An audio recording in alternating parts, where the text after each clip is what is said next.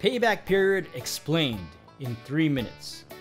Imagine a new business needed a $100 investment and it would earn you back a $100 profit in just one day.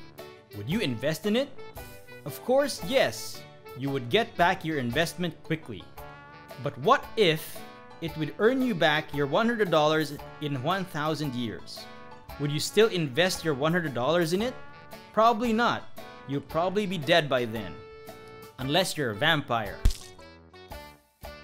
As you can see, when we invest in a business, it's important to know how quickly we will earn back our investment. This period of time is called our payback period.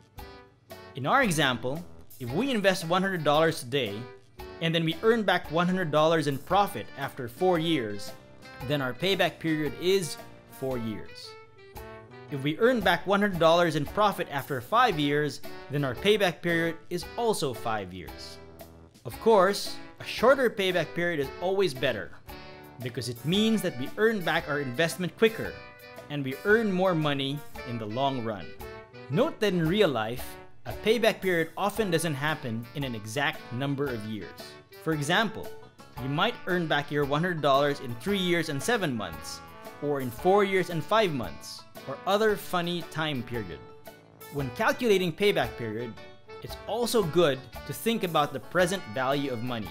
If you don't understand the concept of present value yet, no problem.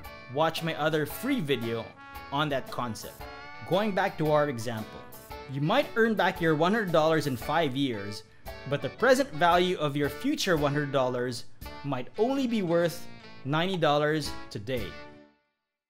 Therefore, it might not be accurate to say that your payback period is 5 years, because in 5 years, you would only get back $90 in today's money, not enough to cover your $100 investment today.